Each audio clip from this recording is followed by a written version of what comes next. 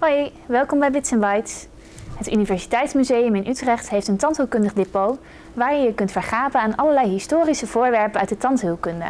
Denk aan oude extractietangen, historische tandenstokersdoosjes, trapboren en behandelstoelen uit de 20e eeuw. Conservator Reiner de Raad vertelt wat er nog meer te zien is en wat er zo bijzonder is aan de collectie. Er is een enorme variëteit hier te zien. Uh, tandartsenstoelen, restauratieve tandheelkunde, orthodontie, prothetiek, uh, chirurgie. Uh, een enorme, eigenlijk is er alles wel te vinden. er zijn zo'n 34.000 voorwerpen te vinden. en ik denk eigenlijk dat we wel de grootste ter wereld zijn. Uh, de tandheelkundige collectie is eigenlijk gestart vanaf, althans we hebben materialen vanaf 1877. Toen is het onderwijs in Utrecht uh, hier gestart. Dat is de enige, enige opleiding in Nederland. En eigenlijk is vanaf die periode onderwijsmateriaal al in het bezit van de universiteit geweest.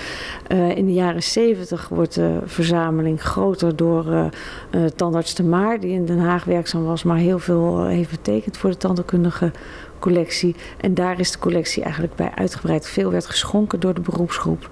En zo werd de collectie alsmaar groter. En nu hebben we eigenlijk zo'n heel breed spectrum van, uh, van objecten in de collectie. Mijn favoriete stuk uit de collectie is uh, een uh, ivoren prothese. Um, en waarom vind ik die zo mooi? Er zijn er vele die ik heel mooi vind. Maar deze is uh, heel mooi omdat het zo bijzonder gesneden is. het moest natuurlijk een kunstwerkje zijn. Er moest uit ivoren tanden gesneden worden.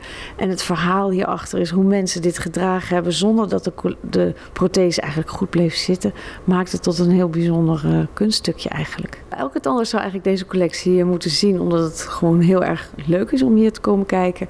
En het geeft heel veel informatie over de geschiedenis van het beroepsgroep. Nou, we hebben geen vaste openingstijden, dus je kan, de bezoeker kan wel komen, maar die moet even een afspraak maken van tevoren. Zoek je nog een leuk uitstapje met collega's, dan weet je wat je te doen staat. Dit was Bits Bytes voor deze week. Tot volgende keer.